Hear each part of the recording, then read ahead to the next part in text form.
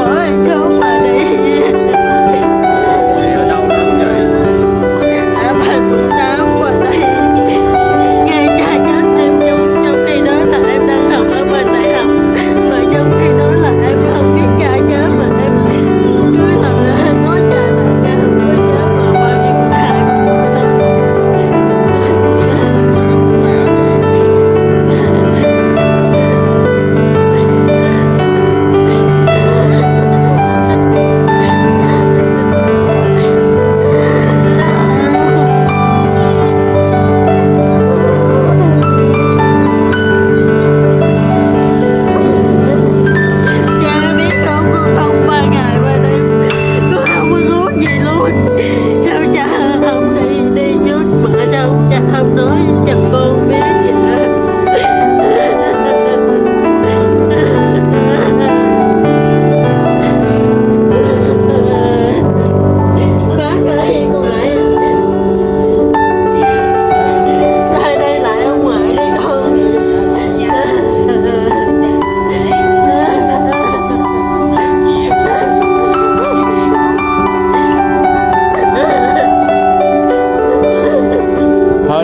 chị bớt đau lòng lại chị ơi.